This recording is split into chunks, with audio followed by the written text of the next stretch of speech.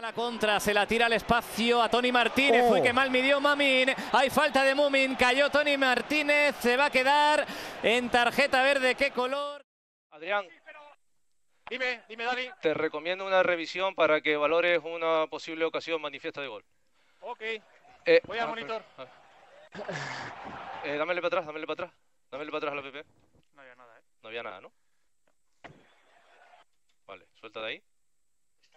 Vale, suelta. Vale, vale, vale, perfecto. La Vale. falta la tenemos. No, no, no, no, aquí ¿eh? Póngela en el punto Aquí de contacto. ¿eh? Aquí Ponme no, el ¿eh? punto de contacto. Ya, ya, vale, vale. Ponme el punto de contacto, Rafa. ábreme las imágenes. Que está Espera un segundo, solo un segundo. Pónmela en el punto de contacto, ahí. Vale, párasela en el punto, en la falta. Vale. Vale. Dame portería izquierda para, para que tengamos todos la, la imagen de la infracción.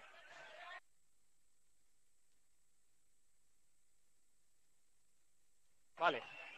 Y ahora un, un plano de que hay. amplios en velocidad normal, en velocidad real.